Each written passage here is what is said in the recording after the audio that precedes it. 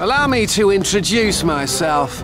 I'm Gatlocke, anarchist, struggling businessman, scoundrel. Okay, that's a lie. I'm not struggling, but let me ask you do you like rules? Can't say I do. Me neither. I hate them. It's why me and my men live by the anarchist code. For us, there are no rules. Except no cursing. True. We're anarchists, not animals. You know what I'm talking about.